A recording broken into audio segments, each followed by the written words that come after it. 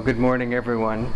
And we wanted to present you to with our to our new friend this television. His name is Philip or Phillips. Uh, someone made a donation so that we could have uh, more audio visual as part of our satsangs. There are so many uh, videos of Swamiji, so many uh, photos, and so on. It adds a lot to uh, the experience as we will demonstrate today.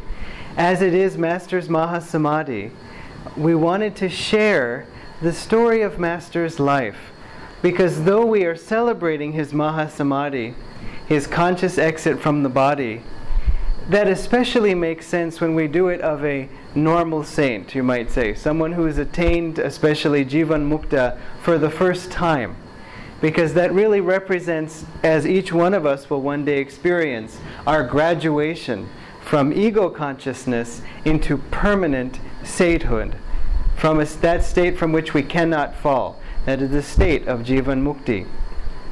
Now, in the case of an avatar, they have gone beyond Jivan Mukti to Param Mukti. They have freed themselves of all past karma. If this is uh, too technical, uh, talk to us later. but in terms of the details of it, Yoganandaji, these masters, came already as free souls. Not only just normal saints, but with more power of God to manifest through them than usual. Such avatars come with a divine mission, and such was Yoganandaji's incarnation. So, having said that, celebrating his Mahasamadhi also has a little bit of a twinge in our hearts because that was when he left this world. And sometimes in moments of devotion, we are painfully reminded that He isn't in this world with us. And wouldn't it have been nice if He were? Of course, He is living in our hearts, whether we hold Him in our hearts or not, He's living there. But still, celebrating the Mahasamadhi is also a way of celebrating his life and his mission and all that he did while he was here, not just that last day, though we will speak about that last day. So we thought rather than giving a, you know so much of words, we wanted to share with you also some pictures leading you through uh, the story of his life. Many of these things you would know if you'd read Autobiography of a Yogi, which I'm sure most of you have, and then also The New Path, Swamiji's own autobiography shares more of what happened in Master's life in America, which isn't in the autobiography of a yogi much at all. And also the biography of Yoganandaji, which came out only relatively recently, also has many of these stories if you're looking for further reading and so on. So, Yoganandaji, as many of us know, his father was Bhagavati Charan Ghosh. They, he was born in Bengal. This was, of course, uh, in 1893, so it was not only pre. Uh, uh, um, Bangladesh, but it was even pre uh, sovereign India.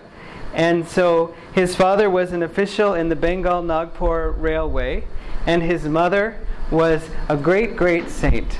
Not outwardly, perhaps she was recognized as such, but at one point, Master had a vision of Divine Mother, and she said, It is I who have been your mother in all previous lives. And through those mothers, I have nursed you and cared for you, but in this life I came myself. So it's something to meditate on. Even as uh, his uh, father, though a very sort of worldly official, you may know the wonderful story of how he became a disciple of Lahiri Mahashaya. And in fact, Master's mother also became a disciple. They both took Kriya initiation and they brought Master, she brought Master as just a little baby to Lahiri Mahashaya. And so she had that blessing. Uh, Yoganandaji was also physically blessed by the Master and guided by him throughout his early childhood. He said that this picture would often come to life and sit with him during his meditations and so on, the figure of Lahiri Mahashaya. As a young boy, Yoganandaji had many visions, and after one particular illness, from which he was actually cured by this photo of Lahiri Mahashaya, he saw yogis passing before his mental vision. And he said, Who are you? They said, We are the Himalayan yogis. And he said, How I long to come to the Himalayas and be like you, which is perhaps something we can all relate to a little bit. And uh, I have to say, though, that Master said, Don't think that in going to Himalayas you will find less work. He said, You will find much more work just to fill your own stomach. And he had gone to the Himalayas, so he knows. And so, um, he then also, after that vision, saw expanding circles of light, and a voice said, I am Ishwara, I am light. And Yoganandaji said, I long to be one with you. And so he said, from that, he started to seek God actively in this incarnation. Though the avatars all come free, still they play out the human drama of acting as devotees, as disciples, so that uh, we n- can follow their example. As Krishna says, what the greater man does, the lesser men imitate. Of course, all human beings imitate. And so, if, so that's one of the reasons why they go through that struggle, because it's our struggle too. Many of you know uh, the story of uh, Yoganandaji and his older brother Ananta when Ananta sent him uh, to prove whether God could take care of him in the city of Agra with no money. Again, so many stories that I would love to go into them in detail, but I can just leave little hints. And because Yoganandaji passed the test and came back with a surplus of cash, Ananta realized that God controlled even money which he couldn't believe before then. So, anyway, this is a picture of Ananta because many of you uh, may not have seen this photo, but it is in the autobiography of a yogi, and this is young Mukunda. He was very thin as a young boy, and here he is again and uh, for those of you who know one of his friends who went with him to the uh, to Agra was named Jitendra, and this is him. And Swami Kebalananda was his Sanskrit tutor, also a Kriya Yogi disciple of Lahiri Mahashaya, and shared with him many amazing stories of his guru. Master Mahashaya Master had such devotion for him. Uh, he's a great disciple of uh, Ramakrishna, and in fact, you may know him as M, the author or recorder of the Gospel of uh, Sri Ramakrishna Paramhansa. Master said, I had so much devotion for him that I would roll on the ground wherever he had walked, just feeling the dust that had been blessed by his sacred feet. He even asked Master Mahashaya, Can you give me samadhi? And Master Mahashaya said, That's not for me to do. Your guru is coming. He will give you that experience. And his guru, of course, as you know, Swami Sri Yukteswarji, whose Mahasamadhi day is today. And Master was a little bit alarmed, he said, in a way at first, because though he had had visions of this face throughout his life, and he didn't quite understand what this face meant until he met the uh, the guru in Kashi, in Banaras. And he recognized him. It's an amazing story. He saw this man in this little lane and he thought he felt drawn to him but he said you know what i'm just dreaming and so he said i'm going to just move on and after about 10 minutes he found that his feet he couldn't take another step and he was with another uh, devotee who was from an ashram that Yoganandaji was not fully immersed in, let's say. And he turned back towards the way they had come and he could walk. But when he turned back, he couldn't move his feet. And he said, The saint is magnetically drawing me to him. And he, they were shopping and he took everything and threw it into his friend's arm and ran back. And the guy said, You're crazy. And when he found Sri Yukteswar, he ran to him and touched his feet. And they had a reunion from so many lifetimes. It's very, very touching to relive because it's not just for them but each in our own way when we return to our Guru in this lifetime. It is deeply moving, even if it's not a reunion in the body. And I say when we return to our Guru, not when we find our Guru, because most of us are simply picking up where we left off last time, both as yogis, as devotees, and also as disciples of our Guru, whoever your Guru is. But of course, for many of you, it is Yoganandaji.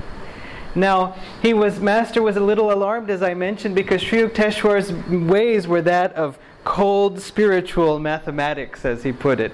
He was a Gyan avatar, Master named him. And Master, his own way, was through devotion. but he said by attuning his will to Sri Yukteswar's wisdom guided will, he found himself developing in devotion. It wasn't that he became like Sri Yukteswar, though of course he gained a lot through association with him. And so we have to remember that too, that it isn't that we, div- we imitate the Guru necessarily. We express God in our own way, but we ask His light to come through and express itself, rather, even that we ourselves don't enter into the picture. And yet it's important to remember God has an individual song to sing through each one of us. Each one. There was a disciple of Master's who just worked in the garden. She was. Um, from Sweden, I think, and she said, Yes, the flowers are my children. And that's basically all she did. She didn't give big lectures and she didn't run around and she didn't donate huge amounts of money to the work and all these things. She didn't help in the office and organize everything. She just worked in the garden. You think, well, that's nice. I mean, you need a gardener. So, no, it's not like that. That was her service. Master said to Swamiji, she'll be liberated in this lifetime. That was what she had to do, was work in the garden. Not necessarily outwardly impressive by worldly standards. So it's important to remember that working in the garden is just as important as any other kind of work. Not even for the humility it brings, but if it's your shortcut to freedom, and in her case it was, that's the best. Because let's get free. It's much easier to operate on earth as a saint. so let's become saints first. Then, it, like I said, it's easier to operate here. So, we wanted to share a few more pictures of Sri Yukteswar. Uh, you will find them all similar in aspect. because there, it's, there, we don't have as many of him. And uh, Master said when the children, whenever he would come to the door, the children would be terrified. But sometimes he would smile and give out candies, and then they would be very happy. Even when Master, well, no, I'll tell that a little bit later. Sri Yukteswar, Master found Sri Yukteswar in Samadhi, breathless, with his heart stopped, and didn't realize that he was in Samadhi, and he thought he was dead, and he was squeezing his nose and hold, you know, trying to hear any breath and going like this, and then he realized he's gone, and he said he just got up for help, and Master said, his guru said, "So, a budding experimentalist, my poor nose," and so on. And so. Master said he had a habit of flicking his nose in a particular way. It was one of I'm sure Teshwar did one of his little uh, patterns there. And one of the reasons to show this picture is he had many Western style chairs, Master said. That he, he was very utilitarian, that which he had great respect for the West in terms of efficiency and organization. You say, well, is that spiritual? But it is, if you think of it as clarity. It's, it's very spiritual to be God is the most clear thing we will ever experience. And so clarity is a virtue. So this is Master's passport photo. This is where, how he looked as he was crossing the ocean. Right after this, he shaved the beard because he had a, a, an Indian friend who told him in America you can either have a beard or long hair, but not both. And so Master said, I keep the hair because my master also wore long hair. So he shaved his beard. And this is actually some years before that. I think he's about 16 or 17 in this photo. And of course, you see he's, he's no longer skinny. He was healed from chronic indigestion and so on by his guru. You also see he has a bangle here. If you like this photo, you can always look over here. It's up there too. Sri Yukteswar had formulae for astrological bangles that act as lightning rods, he said, and take onto themselves uh, karma so that the body is protected, just as a lightning rod protects the house from a lightning strike. And so, Master had two bangles on. One is this one, and then the bigger one is one made out of lead that was specific to him, that Sri Yukteswar uh, gave to him to protect him. It's all in the autobiography of a yogi. This is the Ranchi school. Master's first public work was a school for boys, which is significant because his first public work he wanted in America was a school for girls. But he realized after chartering the school and getting everything ready legally that the parents would not send their children to the school unless they themselves were yogis and won to the spiritual path. And so it became instead his headquarters for his work and so on.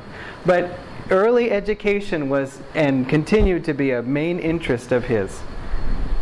And then he was called to America, which is another thrilling story that I don't have the time to share. But suffice it to say, before going to America, which Sri Yukteswar had told him even as a young boy, Babaji sent you to me so that you would go to America and bring Kriya Yoga there. Sri, and, and Master, uh, even meditating in um, Kashmir, had visions of buildings in America that he would build, though he didn't know how he would get there or anything. But he was concerned, so he put it. Again, it's sort of a dramatization, but still, for our sake, what if I get swept away in the materialism of America? As a monk in surrounded by other monks, there's a certain amount of protection you have. And as a devotee, whenever you go somewhere, if you can, especially if it's particularly worldly, Master said, bring a spiritual bodyguard. Bring another devotee with you it will make you much stronger. And you say, yeah, well, that's nice, but there aren't just devotees lying around waiting for me to summon them to come with me. So bring Master with you. But if you can, do bring another incarnate devotee with you as well, because it can be, it's a protection and a great one. And so, Master, concerned, prayed to Babaji, reassure me. And Babaji appeared to him in uh, his home in Gar- Garpar Road in Calcutta and told him, You are the one, I want to go to America, and said many more things. It's again mentioned in Autobiography of a Yogi. But just to say this because Master, having physically met Lahiri Mahashaya and Babaji, also physically, and in a way that also brings them closer to us because we are but one step removed from Yoganandaji because of Swami Kriyananda. And so, therefore, all the other masters, as close as they were to Yoganandaji, are close to us. This is where the autobiography of a yogi, in a certain way, ends in the story. Not completely, but in terms of the details. He was invited to be a part of a international congress of religious liberals, as it was called, and he spoke on yoga and then he started touring the country. This is now 1920, he arrived in America. 1924, he was touring the country uh, in every city, giving lectures on yoga. You can't read it perhaps, but it says Free lectures by Swami Yogananda, renowned lecturer, educator, occultist, psychologist, and metaphysician from India. These were that same friend who told him you'd better shave the beard, did this promotional campaign, which Master felt might be a little bit over the top. but he filled all the lecture halls that he went to 5,000 people in Minneapolis, 3,000 people in Los Angeles, many people being turned away. Sound familiar? For those of you who are at Swami's lecture at the Music Academy. But uh, it's important to remember that Dr. Lewis, his first disciple, after that 5,000 lecture people in lecture in uh, Minneapolis, I think it was, said, "Okay, Master, oh, this is fantastic! What a big success!" Part of it was just that Master was from India. Remember, 1924. I mean, it's it's 23 uh, years before India's liberation through Gandhiji. It's a long time ago, in a way, in terms of the history. But uh, when Dr. Lewis said this, Master said, You will see at the class, we're lucky if we get five. And that's exactly how many came. And it showed that though many lives were touched and impacted that way, those who were seeking God seriously are few. In connection with that, I asked Swamiji once Did Master envision everyone drawn or attracted to him say, I think I asked anyone who even read Autobiography of a Yogi, would they eventually take Kriya? Because for me, that was the biggest feature of Autobiography of a Yogi, that you could accelerate your spiritual progress through this Kriya Yoga technique. You could grow in one year, I mean, in 30 seconds, the same as you would normally grow in one year. I wanted that. And I said, Did Master envision that everybody who read that would want that? And Swami said, Oh, no. He said, because very few people actually want God. So, therefore, if you do want God, be very grateful. That's a very precious gift. It can't be implanted, it can't be given, it can't be taught.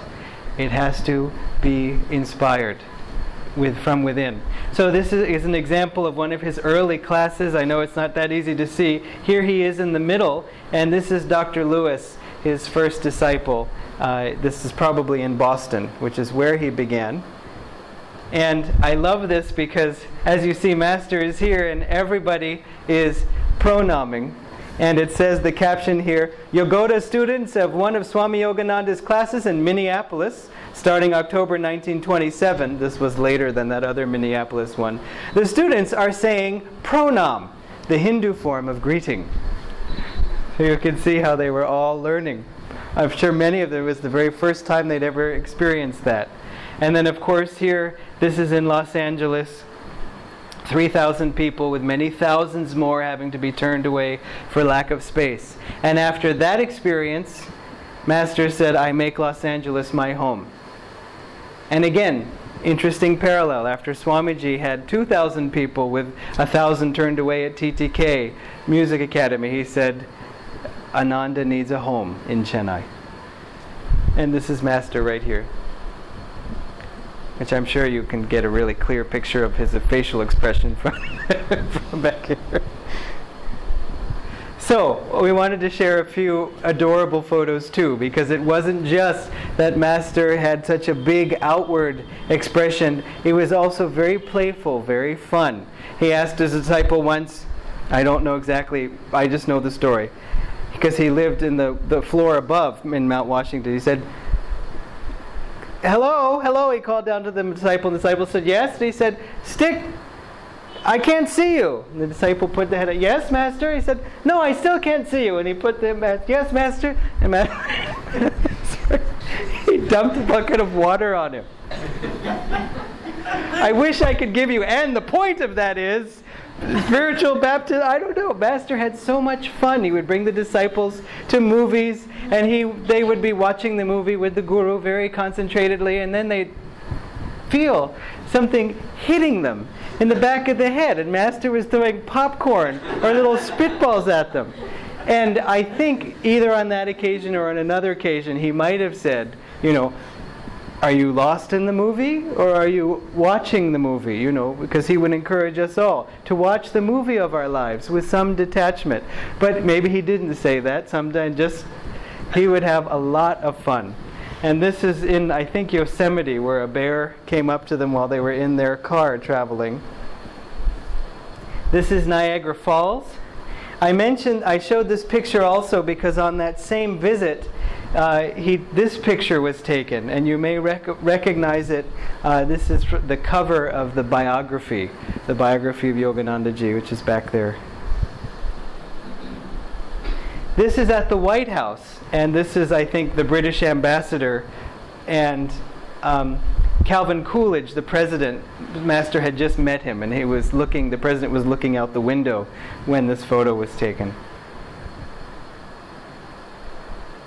This is an amazing photo. It's very hard to see. I'm sorry. I wish I had done something else to it, but it's a little tiny squirrel that's holding on to Master's leg and it's I mean it's just so sweet. And so then the, the bunny one. I don't have that one, no. There's a beautiful picture of Master meditating on the beach holding a little stuffed animal rabbit. you know, I think, you know, Yoganandaji was considered a Prem avatar, avatar of love. And so it's very easy for people who join the spiritual path, especially as yogis, getting very serious, very self-serious, a little self um, important because I'm following all of Patanjali perfectly and I am meditating. You know, we have these samskars in us that make us rigid. And so I believe Swam, uh, Yoganandaji and Swamiji did the same would try and lighten the atmosphere so that so much self-importance and self oh, I've got to do this right, all that kind of stuff would relax a bit so that uh, people could be more in the heart. Because if we're not in the heart on the spiritual path, then we're not going to get there. And so you can get so far being perfect, meditating, being rigid, doing this and that, but it won't get you there until the heart relaxes and adds more in there. So it's good to have a little fun and um, remember that uh, love is very important, relaxation is very important, and so Yoganandaji, uh, of course, uh, incarnated in such a beautiful way to allow people to also be spiritual in a natural way. And he came with the new age of energy, Dwapara Yuga, that we talk about, and the types of monasteries that are required these days are no longer just uh, hidden in the hills or away from everybody now. The monasteries, um, many have left the monasteries and gotten married. And so then we're very lucky to have such great guidance in uh, being householders and uh, learning to find God as householders. So such a blessed day. And speaking of that, Lahiri Mahashaya was a householder and an avatar. Sri Yukteswar was married before becoming a Swami formally, but when he was married, that's when Babaji met him and called him Swamiji. And Sri Yukteswar said, I'm not a Swami. And Babaji said, Those who I am divinely directed to cast the title on never cast it off. And so Babaji knew that, that uh, Sri Yukteswarji was married at the time, and yet he still called him Swami. So something to think about. Uh, just to add to what Dharmini was saying, we might say, well, because uh, it is Sri Yukteswar's Mahasamadhi, and we might say, well, okay, Master was playful, and Swamiji was playful. Sri Yukteswar, maybe he was stern and rigid. He would poke at his disciples if they acted too stern or rigid. He said, To seek God, one need not disfigure his face. You know. and he said, Remember, finding God will be the funeral of all sorrows. So he encouraged everybody to be joyful. Master settled in Los Angeles, as I mentioned. And this uh, became his headquarters, Mount Washington, on top of a hill uh, in, in a certain district in Los Angeles. And it's quite, uh, it used to be a fashionable hotel, and it's an amazing story how Master bought it. Remember this picture, because you're going to hear Master a little later talking uh, when we play a recording about uh, Mount Washington and how he came to acquire it. Then in 1935, skipping that was 1925, so 10 years later, Sri Yukteswarji called Master back to India. And Master brought a group, uh, brought an American with him. Uh, for those of you who know Daya Mata, who was the president of YSS for a long time, her brother, Richard Wright, went with Master. This was Master's reunion with his family. This is Richard Wright, uh, the American face in the middle. This is Master's younger brother, Bishnu Ghosh. You can see the resemblance. And for those of you who know of, gosh, I can't even remember the name of Bikram Yoga. Yes. Bikram Yoga in America is very popular. Bikram is a disciple of uh, Bishnu Ghosh. And if you go to Serampore, you'll see they have a center there too. He was did a lot of developing the physical body through yoga and so on. This is Master's father. You remember that amazing portrait of him as a young man, and here he is, a Kriya Yogi near the end of his life. And this man right here, just to the right, is Tulsi Bose. And of course, many of you here are connected to Tulsi Bose because you saw his daughter, Hashi Mukherjee, when she was here. And so, again, it may seem so far away in time and space, and it's not. You saw his daughter right here, if you were here. And she comes to Chennai often because her son is here. Master met with Gandhiji at Wardha. And when he was reunited with Sri, Sri Yukteswarji, they had a big parade through uh, Serampore. It's now called Sri Rampur. And this is Mr. Richard Wright here. And I think this is Hari Krishna. I'm not sure. This, pic- this is a young man who, if it's not, could be a man named Hari Krishna, Master's nephew, who left the body about maybe eight or ten years ago. But he uh, shared many stories of his life with Master. He wrote a small book. And uh, there's videos of him also telling these stories. If you go to the house in Calcutta, Master's house, Hari Krishna's son, uh, whose name I've forgotten at the moment, um, is now living there with his family. But, but this is the boy who kind of connects us in time. And there was a large festival in honor of Durga Puja when Master was there. This is Master and Sri Yukteswarji. and I don't know if this was the last photo of them together in the body. Uh, it's certainly not the very last photo of the last time they were together in the body, because as you know, if you've read Autobiography of a Yogi, after Sri Yukteswar died and Master was so heartbroken, of course it was on this very day, Master was not there, but he, he went to a Kumbh Mela and uh, then Sri, he got news that Sri Yukteswar had left the body. That too is very dramatic because Sri Yukteswar was giving hints that Master either ignored or was protected from. He did say, though, when he came back, he saw that the ashram was kind of, you know, was a little bit dusty and a little bit broken down, just a little bit, and he, he wanted to help. And so he said, Guruji, shall I get you a new carpet to replace this old worn out mat that you have? And, you know, kind of spruce things up a bit. And Sri Yukteswar said, Do so if it pleases you. He said, Behold, my mat is nice and clean. Beyond it is the vast world, interested only in externals. And Master said, I felt the years roll back. Once again, I was that disciple being chastised. Because Sri Yukteswar always had that relationship with Master. He would always criticize him, not spiritually, not his character, but any he would stand up like sitting like this, get up, and if he wrinkled a part of the blanket, Sri Yukteswar would say, "See how unmannerly he is," and everybody would laugh.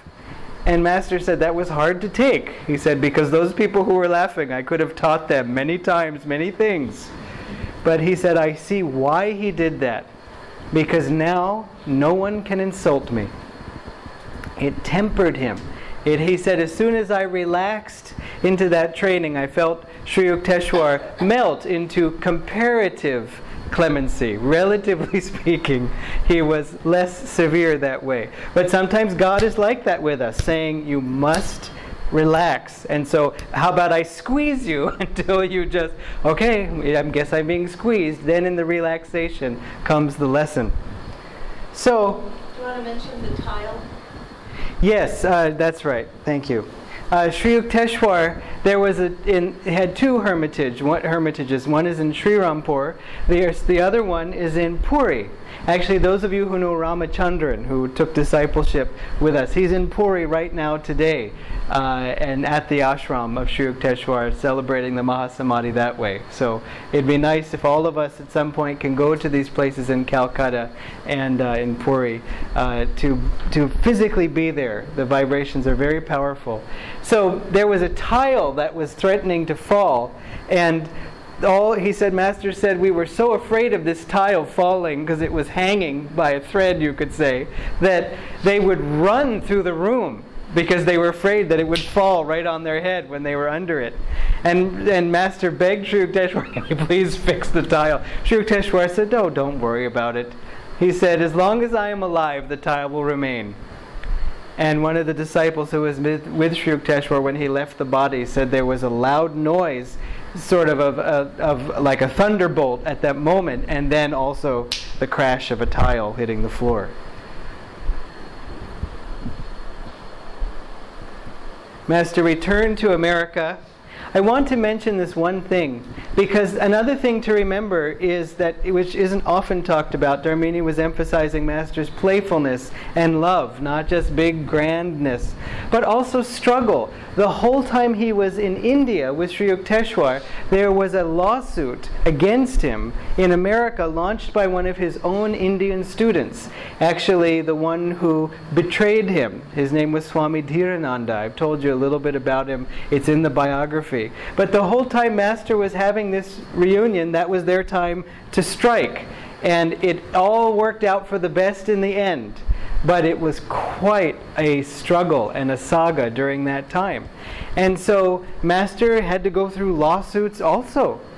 And so just to say that that that drama is also played out here that the forces of maya do not just sit content and say oh avatar you know we'll sit this one out go ahead no please go ahead no there was a constant attack on him in so many different ways one uh, woman was hired by some British reporters. They were concerned that Master, because he was so magnetic and was going to return to India, because he stopped through Britain on the way, they thought he might organize a rebellion. Because it still was 1935, not 1947.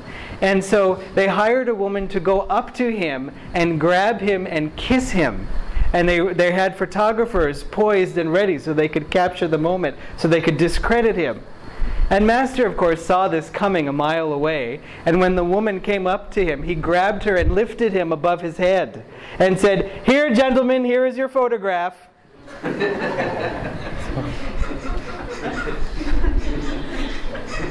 when he came back, he, his disciples uh, who you'll see in a moment, had built this beautiful hermitage for him in a town called Encinitas. I mention this too because sometimes you hear Master say Encinitas, and we have, or Swami too, and we have people who are sometimes transcribing talks, and then they hear, when I was down in Encinitas, and there's just question marks there, like, what? What did he say? Encinitas is a Spanish word. It means little something or other, or female something or other. I don't, I don't know actually what it means. Like a hermitage. Well, Encinitas, though, the town, maybe it means that. Maybe. But it's that's the origin of the word. So it's on the ocean. This is the ocean here.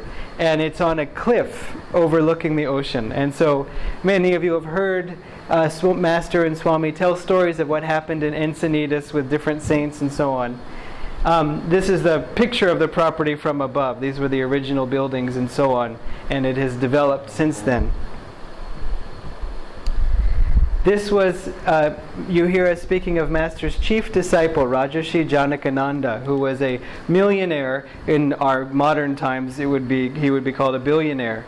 And Master initiated, he said, first of all, he was Saint Lynn. His name was, his name was James Lynn.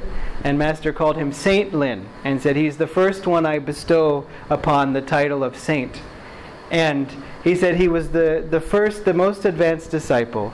And he, when he, he initiated him in this picture into sannyas and gave him the spiritual name Rajarshi Janakananda because he demonstrated that union of spirituality and material control that King Janaka had. And, and Rajarshi was married at that time. And Master still had him dressed in orange and, and called him a sannyasi because it was the mental attitude primarily. And also, I don't know for a fact, but I believe it was a celibate marriage at that point also.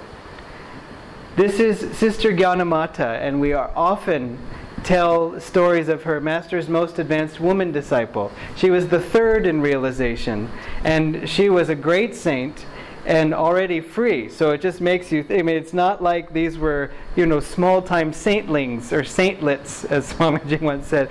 Great, great souls, and when she asked Master for Nirvikalpa Samadhi, you know, to be free, Master said, "You already have that." So it's something to think about again. She is her book uh, God Alone, which is a collection of her letters and her diary writings, is available through YSS. It's a very powerful book for women, of course, because she's a, a, saint in a female body, but for men also because it, she was a saint of great wisdom. The gender we have really is immaterial. And in fact, the arguments that she would have with her husbands, uh, philosophy professors and contemporaries, she would win every time until they became afraid of going to have dinner with her at his house. But she later uh, became a nun. Also, in this period of Master's life, he acquired Hollywood Temple, which is in Hollywood, California. Yes, the Hollywood, California. And uh, they couldn't build because it was during the war. This was the 40s. And so they said, You can't build a. There was no new construction allowed. Everything is needed for the war. So, Master, in his ingenuity, bought an old church that was for sale in another part of the city and had it moved over to this spot, the land that he had purchased. It was just amazing. And so many amazing stories connected with this. Swamiji was the head minister at this church for many years later.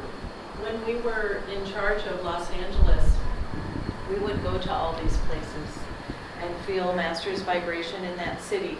It's such a city of duality because we actually lived in Hollywood, about, I don't know, less than a mile from, um, from Sunset Boulevard, which is the main place if you've ever been a tourist there. The Academy Awards also. The Academy Awards were just held there, all these things. And it was so strange to be in a city that was so, so, so extremely materialistic and yet a very spiritual city. Master said that there were uh, ancient civilizations there that uh, had the deep spiritual vibration, which gave the soil its deep vibration. And so he would say, uh, Los Angeles was the Benares of the West. And it took us living there to understand that. Because if you just visit there, you would say, this is the Benares of the West. Uh, okay. Um, but uh, actually, I mean, after living there, also with Master's vibration reinforcing that idea, but also um, believe it or not, the people who run the city are very spiritual. And um, not the main mayor, but the people who are in the government itself are very spiritual and really care about all the spiritual organizations in the city. So it was, and since we were a spiritual organization, they reached out and made sure we were included in in all of that. So it was very interesting that the government of that city would care so much about spirituality, um, despite all the outward trappings. And it's very easy to think that all those Hollywood movies represent American life. But what we found was they only represent what happens in Los Angeles. It's amazing. You know, we were driving down the freeway and a car was on fire on the freeway we thought, wow, you see those kinds of things in movies. and it was like, and there it was in Los Angeles, you know. And uh, all the movies take place in Los Angeles, so now if we watch a movie, we'll say, oh, that's done in Glendale, or that type of thing. But the, the outrageousness of people in movies especially these days, or in television shows, if you get any Western television, it's only Los Angeles. The rest of America is not that way at all. So it's, it's, it's very odd, but we only realize that after living in Los Angeles, the strange dichotomy between what is represented in film and what is actual life in America. So many people watch movies and think that's what America is like, and it's not. so those of you who are going to go to America to visit Ananda, um, I think there's three, Satya, Purni, and Ilango. If Ilango's still going, I'm not sure. And uh, so they're going to get to see the uh, Ananda village that's there and the beauties, beautiful scenery. You saw, many saw Finding Happiness. That gives you a better uh, view of, of how things are. So. But it was very interesting living in Los Angeles, boy. And you'll get to go here also. this is a photo of Master taken, I believe, in Hollywood Church. And when the photographer was about to take the photo, Master said, Wait, let me go into Samadhi first. Okay. And of course, you can see what a beautiful picture it is. This is that same moment, but taken, or a moment later, taken from a different angle. You can see the same old man with the glasses and tie and so on. This is Master, and that's Swamiji there.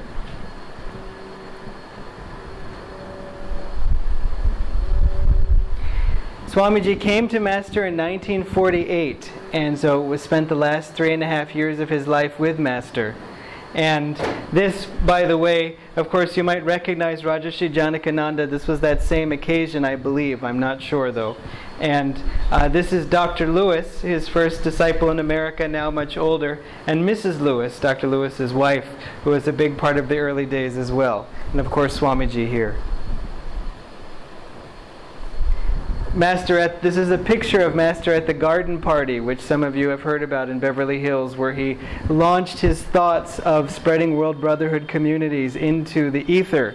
And it was from this that Swamiji salvaged his lifelong inspiration to create spiritual communities around the world, which now he has done.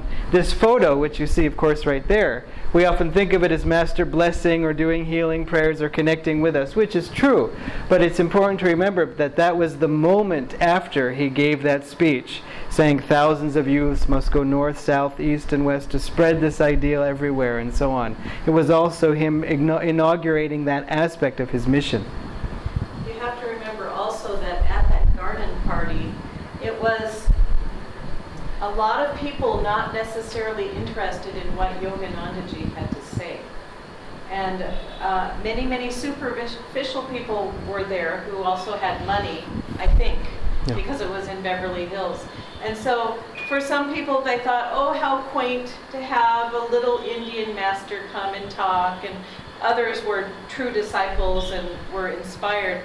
But when he gave this talk about thousands of youth will go north, south, east, and west, before he gave that talk, he also started talking about people being overly materialistic and um, you know, people were being very, very uncomfortable at that party, and he didn't care. he wanted to to say, look, you know, he was hoping to instill, look, if you have money, then you know, do something worthwhile with it. Don't just keep buying all your jewels and whatever, that type of thing. So he was kind of shaking people's foundations of belief because when you when you've just tried to climb the ladder of material wealth and everything, uh, you know, you have you're still building your foundation on quicksand because it can all be taken away and you'll be incredibly unhappy.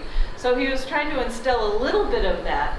And then when he ended the talk with this powerful talk about uh, co- spiritual community, it had nothing to do with the people who were there, but he chose that moment to instill in the ether the vibration of building spiritual communities.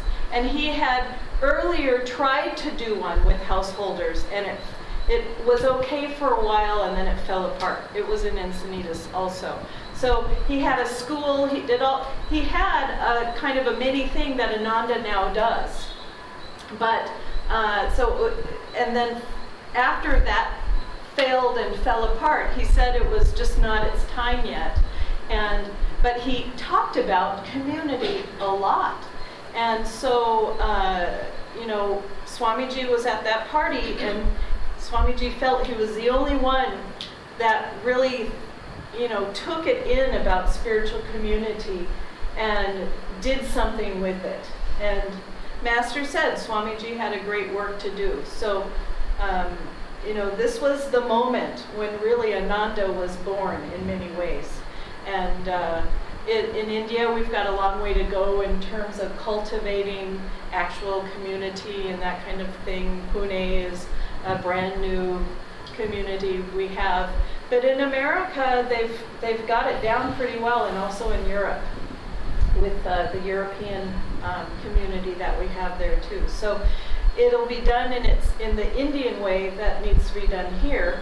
Um, it's been done in the American way in America, the European way in Europe, and so we'll find our way. But it, it takes um, it takes evolution of a group to even be ready to live in community together.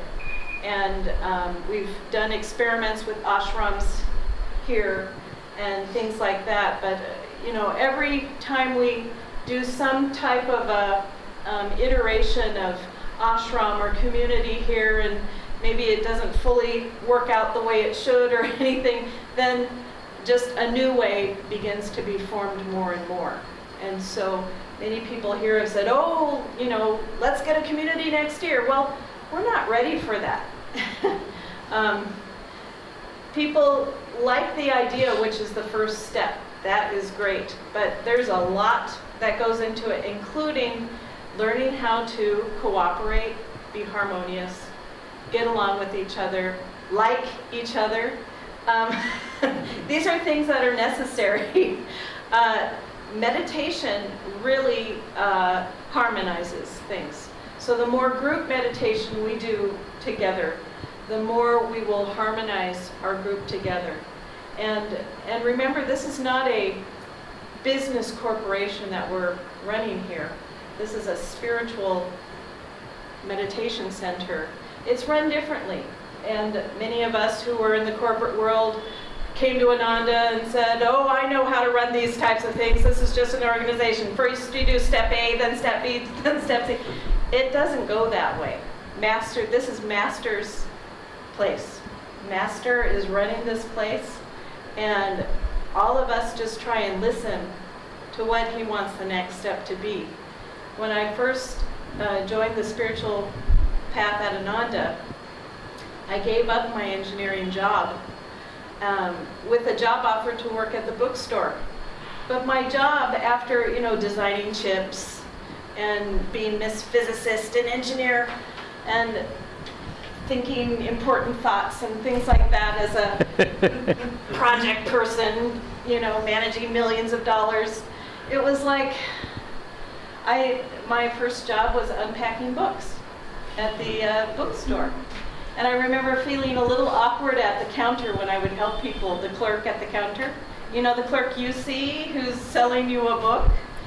Are you thinking, oh, that person was probably an engineer before? No, you're not thinking those things. Where's my book? those types of things.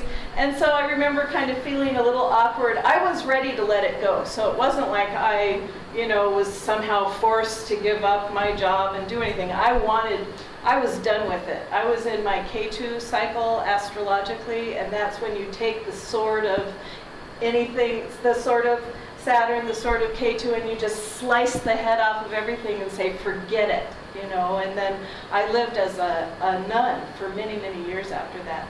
And so when I worked at the bookstore and was just unpacking books and just being in the process of being with books, I've always loved books, but uh, being with books, doing books, um, I realized, and others had told me as well, when we're on the spiritual path, and even when we join a spiritual community, it's often good not to do the thing you're best at. Because when we do the thing we're best at, then it reinforces our ego. But when we do the thing we're not best at, then we kind of break down self identification. Then it's not like, oh, I'm an engineer, I design chips. you know, instead it was like, who is this person who unpacks books? I don't know. You know, uh, just some person. And um, so then you just break down a lot of those things. So that's why it's good when people come and serve. Um, it's it's about you know making the altar nice, dusting here and there. Mary came the other day and cleaned all the the flower scraps that were everywhere and helped fix the altar up. You know, dusting the the books um, serving prasad to people. These are things we're not necessarily good at, but they open the heart and develop us in other ways. And so that's why when people walk through the door, these are the service opportunities available because we're doing the things that generate our devotion. We're doing the things that break down our self identification as being important and instead cultivating the life of a devotee.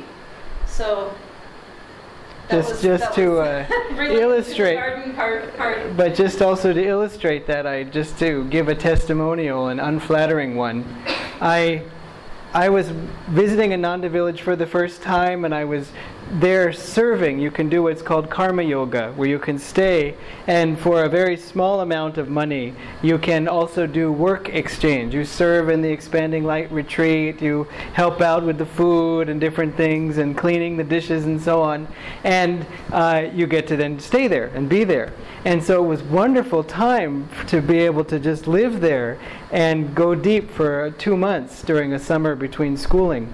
And I was washing dishes and I was loving it. And there was a one of those if you've seen in kitchens they have sometimes an industrial like almost like pressure washer thing that you can spray pots with.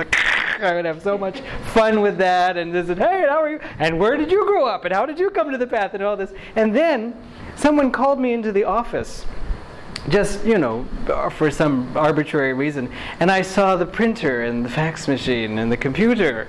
And suddenly i said well you know i was raised by two entrepreneurs, and I, I know a lot about offices and uh, computers, and working on my master's degree actually. And if you would need any help, just let me know.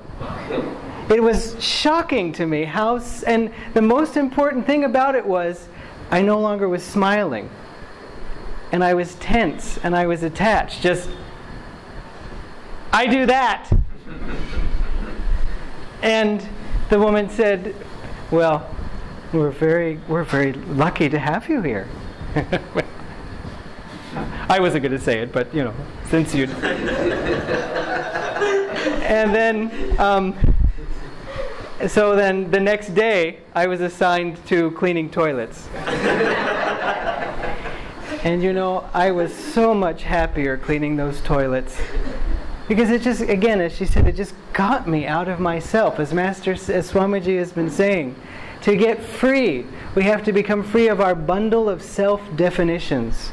And I had defined myself in this particular way, and though I was very proud of my accomplishment, I was also trapped. I was kind of hemmed in and limited to that why don't you go clean the toilets? I could. Why don't you wash the dishes? I could. It helped me balance myself in these other ways. So keep that in mind too. Now, in fairness to that woman, she wasn't the one who did the assignments and said, I'll fix him and send him to the toilets. No, it, it was someone else, but we know who was really doing yeah. the assignments. She wasn't even associated with that assignment. Yeah. So it was like, Master really knew what to do. so this is one of the few photos we have of Master blessing someone. And so I just wanted to share that too, because it's very meaningful. And these were, of course, the very last years of his life. Uh, you will hear um, this was taken at his last birthday. And we played a short clip of that at his Mahasamadhi, just a, a smidge. And this is a photo taken at that occasion. And then this is going back in time a little bit. In 1950, he uh, blessed the lake shrine. There is a recording of that talk. Um, well, eh, we'll go into that story a little bit later. But Master talked a lot about World Brotherhood communities. You've probably seen the video of him on YouTube walking. It's the one color video of him walking, supported by two people, and then standing in front of a shrine with Gandhi's ashes and so on. So this was that occasion. This is Swamiji right here. Swamiji is always easy to pick out in the crowd, not because we know him so well, but because he's the only one with a beard. Master had him grow a beard, perhaps to make him look older. And this was taken on March 2nd. Master left the body on March 7th. And so I believe this was March 2nd, but it might have been a few days later. And Swami, the ambassador, India's ambassador, uh, had come to Los Angeles to meet Master and said, Ambassadors may come and go, but you are the real ambassador, uh, Yoganandaji. And so uh, Swamiji was presenting a gift of um, uh, sing, singharas, which I think is the, the word for samosa in um, uh, Bengal. And so he gave that to them, to, to, Swam, to Master. And this photo also to us in a way kind of represents Swamiji's self offering to Master. It was probably the last photo of them taken together, or one of them.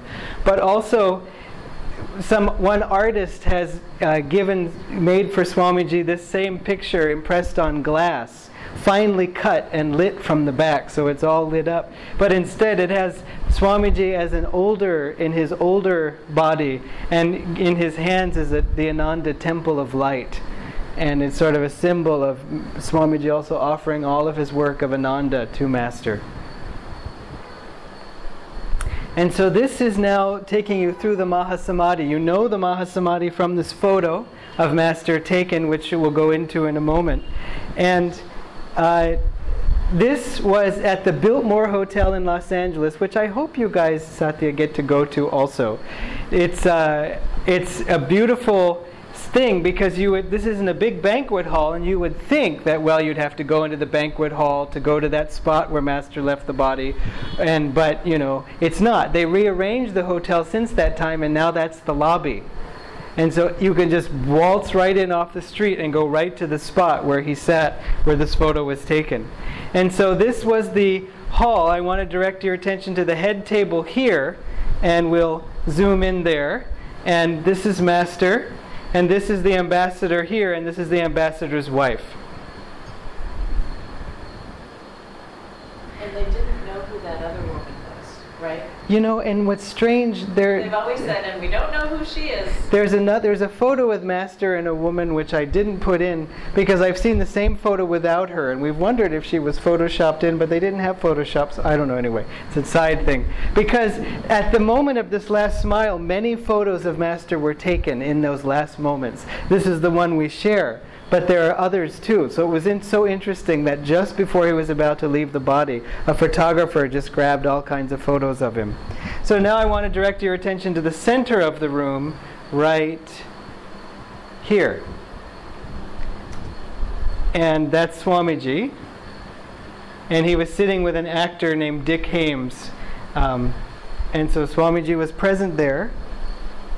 And this again is the big room. Of course, we know this event because of the last smile. That's what we call this photo.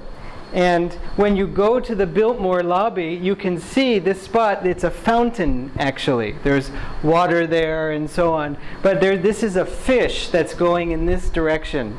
And this is this little circle. So you just go up to that spot, and there's actually two fishes. You'll see the photo that was on Facebook uh, has that's a, that's a sort of superimposition of Master. It's not an actual photo. It was done by taking the actual fountain and making it black and white and doing some trickery to it to make it look like that. But you'll see two fishes, one this way and one this way, and this is obviously the one Master was sitting in front of.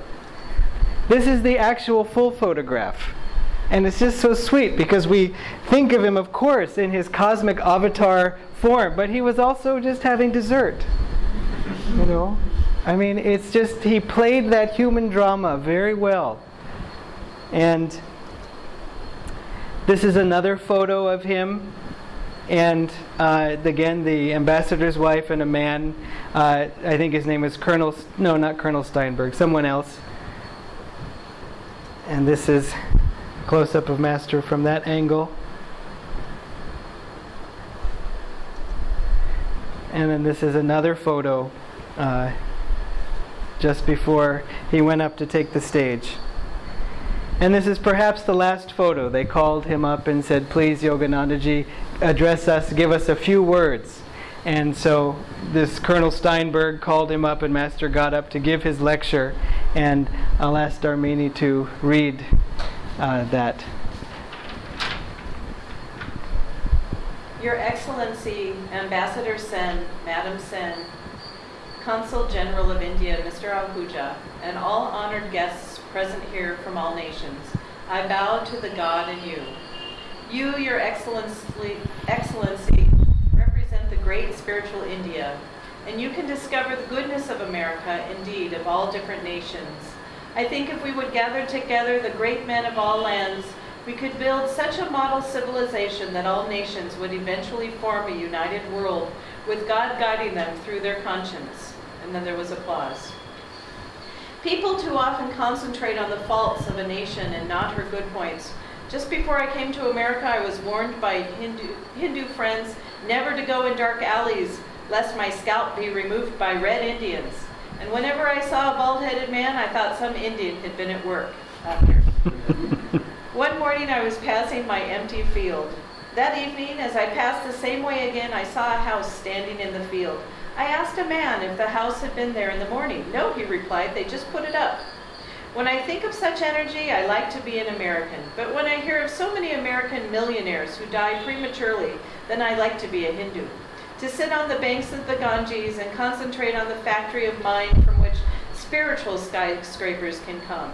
And to think of great masters of India who are her perennial glory, Somewhere between the two great civilizations of efficient America and spiritual India lies the answer for a model world civilization.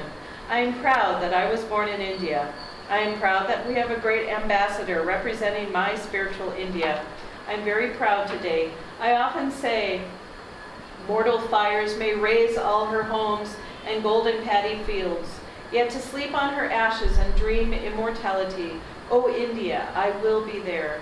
God made the earth and made ma- and man made his confining countries and their fancy frozen boundaries, where Ganges, woods, Himalayan caves, and men dream God. I am hallowed. My body touched that sod.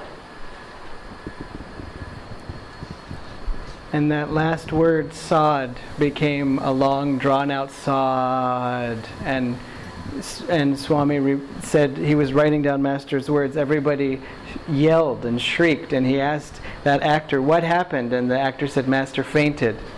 And Swamiji knew immediately. He said, Oh no, he wouldn't faint. This is it. And so it proved to be. He left the body in that moment. And he had predicted this. He said, A heart attack is the easiest way to go. That is how I will go. And then he also said, I will die with my boots on, speaking of my beloved America and my beloved India. And so it, it happened.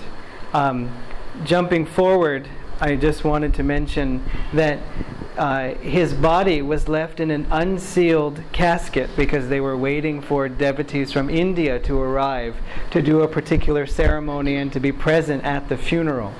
And so for two weeks they left it unsealed.